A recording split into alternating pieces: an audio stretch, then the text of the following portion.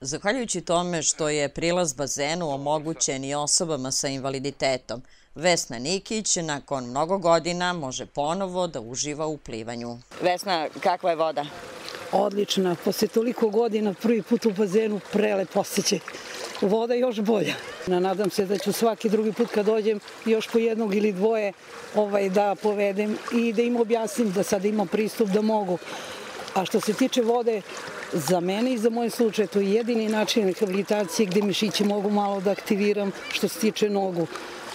Prvi put sam sad ušao u vodu i malo mi je teže, nemam kondicije, ali svakim danom biće bolje. Saradnja Udruženja multiple skleroze, opštine Knjažavac i javnog preduzeća Sportsko-turistički resursi omogućila je da lica sa hendikepom koriste sadržaje na bazenu kao i svi ostali građani. Mi smo ovaj, dobili termine a, tri puta nedeljno, znači da imamo slobodno kupanje ovde a, kao udruženje invalida da ovaj, svojim članovima pružimo neka zadovoljstva koja do sada nisu imala, imali i ovaj, ta saradnja mislim da će teći, prilazi su svi napravljeni znači potrebama invalida, znači imaju prilaze, kupanja, tu će biti spasioci koji će voditi računa o njima, tako da mislim da će to biti izuzetno dobra realizacija te ideje javno preduzeće sportsko-turistički resursi koji je deo nove lokalne samouprave koja vodi brigu o svojim građanima.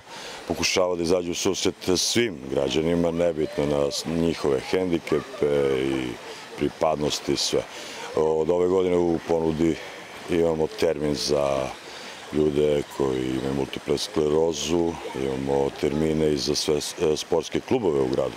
Isto besplatno na korišćenje, bazen, terene okolo jer kažem, ako mi ne brinemo o našim građanima, ko će da brine? Kao i u mnogim drugim situacijama, Vesna Nikić je probila led, a na ljudima koji imaju zdravstvene probleme slične njenim je da iskoriste prednosti tople vode bazena Banjica u Knjaževcu.